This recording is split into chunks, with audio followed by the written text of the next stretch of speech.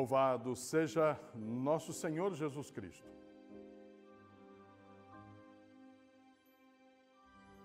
Como foste fiel na administração de tão pouco, vem participar da minha alegria. O Senhor esteja convosco. Proclamação do Evangelho de Jesus Cristo segundo Mateus. Naquele tempo, Jesus contou esta parábola a seus discípulos. Um homem ia viajar para o estrangeiro, chamou seus empregados e lhes entregou seus bens. A um deu cinco talentos, a outro deu dois e ao terceiro um, a cada qual de acordo com a sua capacidade. Em seguida viajou, depois de muito tempo, o patrão voltou e foi acertar contas com os empregados. O empregado que havia recebido cinco talentos entregou-lhe mais cinco, dizendo: Senhor, tu me entregaste cinco talentos, aqui estão mais cinco que lucrei. O patrão lhe disse: Muito bem, servo bom e fiel. Como foste fiel na administração de tão pouco, eu te confiarei muito mais. Vem participar da minha alegria. Palavra da salvação.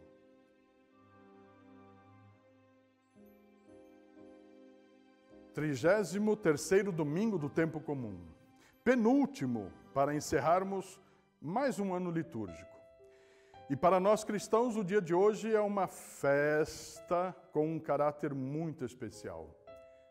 É o Dia Mundial dos Pobres.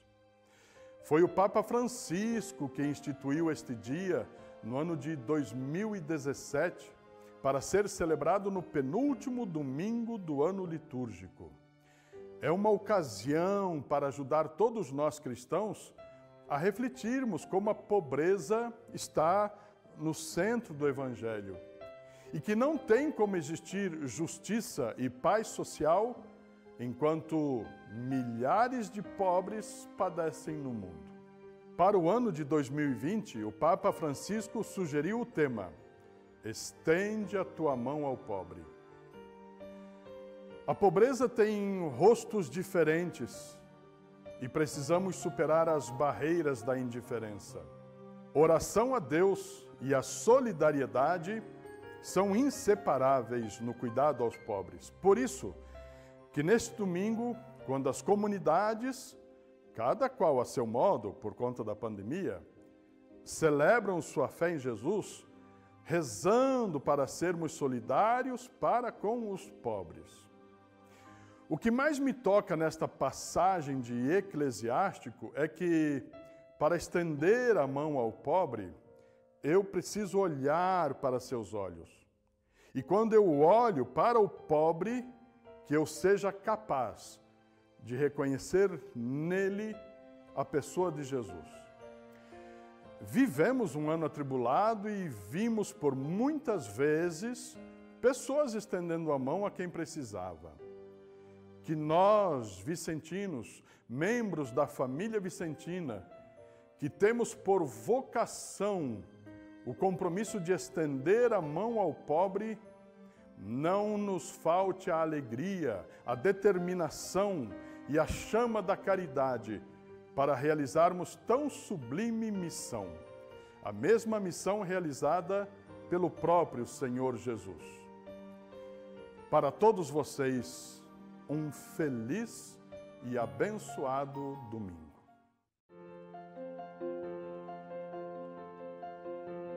Oração pelas vocações vicentinas.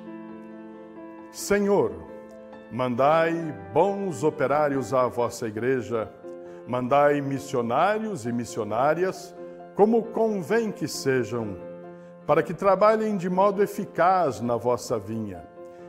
Pessoas, meu Deus, desapegadas de si mesmas, das suas comodidades e dos bens terrenos não importa se em pequeno número, contanto que sejam bons.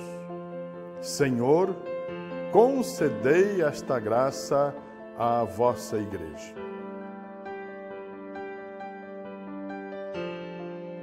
Ave Maria, cheia de graça, O Senhor é convosco. Bendita sois vós entre as mulheres, e bendito é o fruto de vosso ventre, Jesus.